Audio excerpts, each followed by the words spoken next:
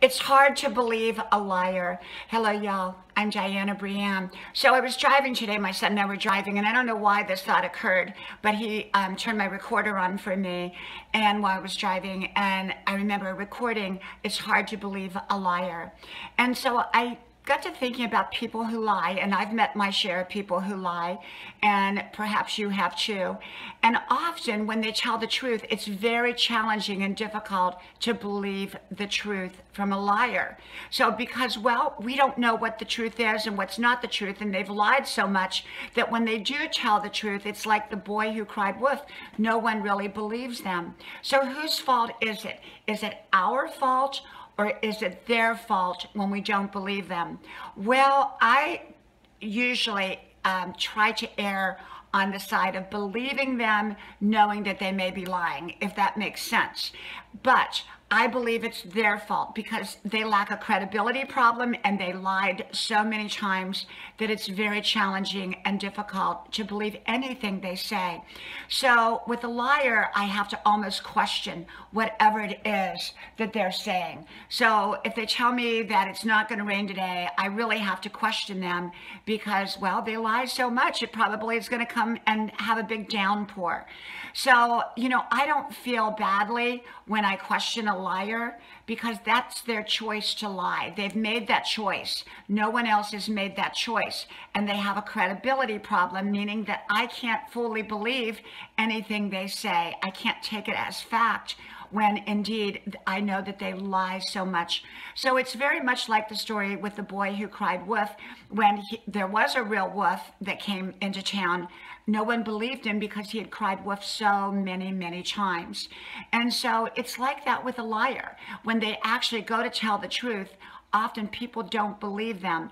And it's really not the fault of the person not believing them. It's really the fault of the person who lied so much. And yet, for me, I still tend to err on the side of choosing to believe what they're saying up to a degree where I check it out thoroughly. In other words, I don't automatically believe what they're saying, but I do listen to it and consider it that it could be the possible truth. Like the third time or fourth time, the boy who cried wolf actually did see a wolf. So the problem with liars is you really can't believe them and you have to question when things are truly true, you have to question it to make sure it really is true. So liars are not believable people. And so I really don't like to surround myself with them at all because if I can't trust and believe in someone and their credibility, um, then, you know, it's probably not going to be the most beneficial relationship that I could be in. From my house to yours, I hope you like, share, subscribe to both of my channels, Grandma's Porch with Dianna Brianne Fairchild and my original channel, with 3,400 videos, Dianna Brianne Fairchild. So from Grandma's Porch, from my beautiful day, I will talk to you soon. May God bless you. Bye-bye.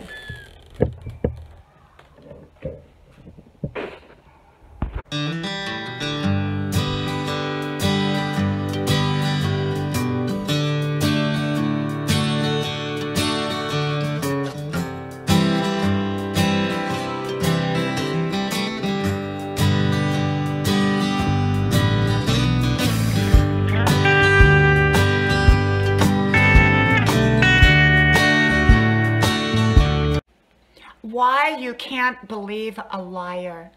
When someone lies, often they'll lie again and again. Why it's difficult to believe a liar. The boy who cried wolf.